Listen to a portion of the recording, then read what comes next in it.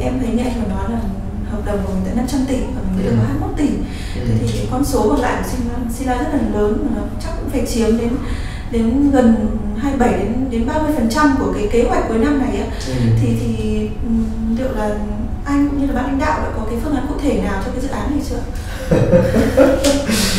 rất là hay có nghĩa là cái cái câu hỏi của em ờ, nó đã chứng tỏ một cái điều là ờ, một phần nào đấy anh đã gọi ra được cái văn hóa cho bọn em đó là công ty đạt kế hoạch thì là cá nhân hoặc là cái bộ phận mình đạt kế hoạch nó có ý nghĩa. Và không phải em hỏi đâu mà anh cũng đã nghe tới anh Hà Hip anh ấy có nói rằng là có thể là anh sẽ phải vào trong Sila để anh giúp Sila hoàn thành kế hoạch. Tại vì đúng như em nói nếu mà với 27% kế hoạch có nghĩa là 462 tỷ trên 1.689 tỷ thì thì đúng là Sila chiếm một trong số rất là lớn và không phải là anh Hà mà rất là nhiều người khác sẵn sàng giúp Sila để cho Sila hoàn thành kế hoạch. Và thông qua đó thì đóng góp rất là nhiều vào cái việc hoàn thành kế hoạch chung của cả công ty trong cái chiến dịch 3 tháng cuối năm.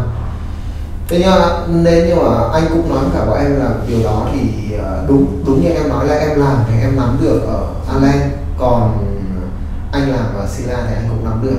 Và anh thấy con số này là một con số nó hoàn toàn có cơ sở.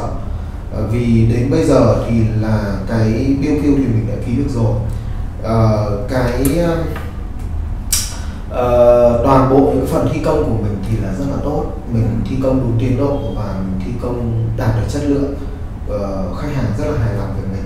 Và ngay cả khi mà Sila người ta vào người ta chuẩn bị cho quá trình bàn giao để về sau người ta vận hành thì người ta cũng rất là ít comment về cái chất lượng của Huawei.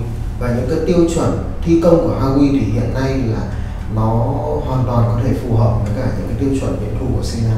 Thế em thấy là một cái, một cái cơ sở rất là tốt. Và ngay trong tháng 10 này thì Sila có một cái mục tiêu ờ, hoàn thành đó là 204 tỷ. Đấy. ngay trong tháng 10 này nhé là đã chiếm tới khoảng tầm 40% mục tiêu của người ta rồi. Và trong tháng 11 thì mục tiêu của người ta là 181 tỷ. Và cái tháng 12 thì nó chỉ còn là 75 76 tỷ thôi. Thế thì vấn đề là anh cho rằng là những cái của Sila là những cái mà, cái mục tiêu của Sila hay là những cái kế hoạch cụ thể của Sila thì bọn anh có họp rất là kỹ. Và anh đánh giá tính khả thi của nó và bọn anh hoàn toàn tự tin vào dự án của Sila. Thế nên là vấn đề là còn lại là của các cái dự án ai, hay là nói riêng là ai cũng thế. Bọn em cứ nỗ lực, bọn em cứ hoàn thành mục tiêu của mình. Và bọn em ghi nhận tất cả những cái doanh số mà bọn em làm ra được thì anh nghĩ là ờ, chắc không chắc là không phải là vấn đề ờ, quá lo lắng đâu. Uh, Sila rất là tự tin. Dạ vâng. cảm ơn em